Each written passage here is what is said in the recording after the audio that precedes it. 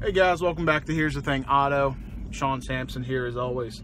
Uh, I wanted to come to you to talk about something that I have planned to make a video on for the last few weeks that I wanted to give it a few weeks before I made this video. Um, I want to talk to you about the new version of Top Gear America. Now, anybody who knows me knows I'm a fan of the old version. I thought Tanner, Rut, and Adam were a fantastic trio that, while not in the same vein of the originals quite, were definitely entertaining to watch and brought a different flavor to the Top Gear formula. Um, the new three, obviously, we're, we're only a few episodes in, so it's it's not like I can give you a, a final thesis on their formula, their chemistry, anything like that. But I did want to talk a little bit about the shows, comparing the two. Um, the new show has potential. Um, I'm not sure that they're any better than the old ones. Um, a lot of people did not like the old show. I obviously, as we you know just said, I, I was a fan of the old show. So, in that regard, I don't think that we've improved anything with this with this new setup and the new uh, the new cast. So one thing I do want to say, um, so far the new Top Gear has come out of the block stumbling in the exact same fashion that the old one did. I think a lot of the reason that they canceled the old Top Gear America was because it had developed its own identity and wasn't copying or wasn't thriving off of the original Top Gear in studio home base formula.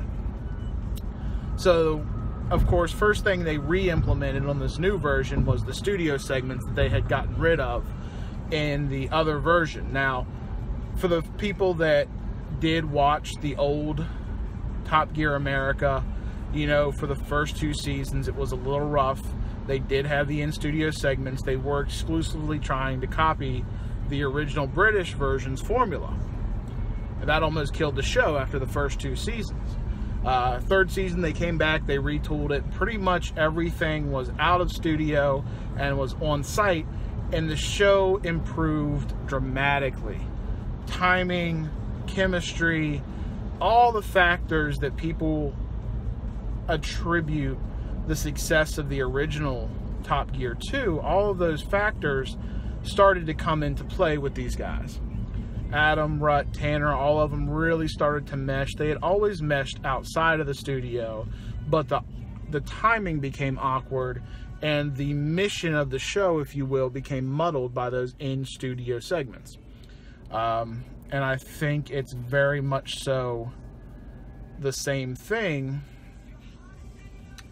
with the new one. So we've got the in-studio segments. We've got uh, Bill Fichtner leading those in-studio segments. Um, very much so trying to copy Jeremy's original interaction with the other two in the studio, kind of the the the leader, the the ringmaster, uh, if you will, of the circus. So However, that is giving the show an awkward timing. I've been very impressed with. I've been very impressed with uh, the out of studio segments for the most part. Um, not quite to the level that the guys were in the old version, um, just because they do still seem very stiff. Now, obviously, over time they'll loosen up, they'll start to mesh together a little bit better. Um, but right now, things are still very stiff, and it, it, it's almost like they're trying to impress each other. Um, Antron is still, you know, he's he's the racer, he's the top fuel dragster guy. Um, you know, he's still very much so. Look what I can do. Oh, I'm a professional race car driver. That's that's his thing. By all means, that is your thing. Go with it and try to show it off. Um, Tom Ford is the snarky Brit. I'm not sure Top Gear America Top Gear America needs a snarky Brit.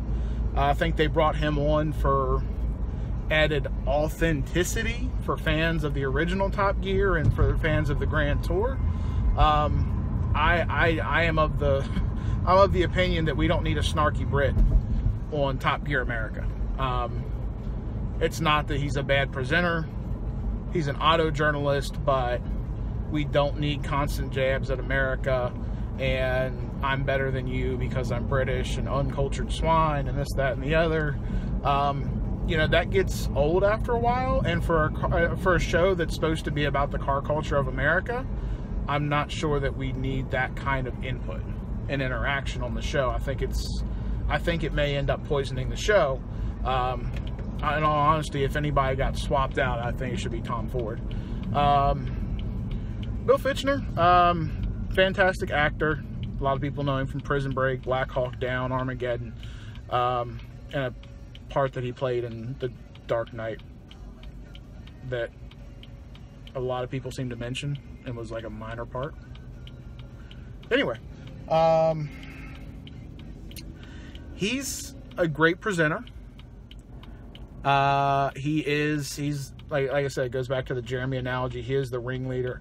Uh, the difference was, is that Jeremy really, uh, you know, he had no problem making a fool out of himself. And, and Bill, he takes himself, I don't want to say too seriously, but he takes himself pretty seriously. Um, at the end of the day, even when they're in the field doing their challenges, supposed to be having fun, what I'm not seeing so far is them having fun. It seems to be a lot of torturous interaction that we're supposed to laugh at because it's another human being's misfortune. Um, there was a little bit of that in the original Top Gear. There was a little bit of that in the original Top Gear America. But ultimately, it was the camaraderie and the team building and the fact that when the guys are in the uh, field, they're three friends hanging out and doing stupid stuff that they probably shouldn't be doing. That so far has not at all come across on this show. Um, that was one of the things that I feel the last Top Gear America got right right off the bat. Um, from the very first episode, as soon as they dropped them in the field and came out of the studio, um, it was it was almost immediately immediate chemistry. Maybe not as the way that BBC wants it done, where they're presenting cars and um, you know, obviously the very British idea of stiff upper lip and the way BBC can tell you that the world is exploding and burning down around you, and you feel okay because they present it in a professional and straightforward manner. Um, Top Gear America, the original, did not do that. They never did that. And that was the genius of it. Uh, they were three friends out having fun, um, destroying cars, particularly Adam. Uh, by the way, Adam Ferrara is the man. Um, he was probably my favorite part of the original show. Everybody else hates him because he wasn't enough of an enthusiast. Um, eh, let me say, you know, uh, there's different kinds of enthusiasts. Uh, is he somebody that I would, you know, use to epitomize car guys? No. But he represented the everyman who wasn't, you know, NASCAR presenter every Sunday at the racetrack or invited to the Toyota, you know, celebrity racing events like Rutledge, and he wasn't the, you know, um, first person that you call when you need a stuntman or GRC world champion or, you know, WRC uh, world contender, Tanner Foust. He was the everyman, you know, in every novel, every movie, every show, it's one of the oldest tropes in the world, but it still rings true because it's necessary. You need somebody in the world that you've created that represents the reader, the average man. Um, we don't, you know, when we read Superman, we like Jimmy Olsen. You know, we, we root for, you know, anytime Jimmy Olsen is involved in a Superman story, uh, you know, that's, that's us. That is us we are the normal guy watching these gods fight in the sky. Um, you know, Top Gear's not that serious, but that is essentially what Adam was. And the fact that he took it serious enough, a lot of people don't think about this. There's a couple episodes where they mentioned it.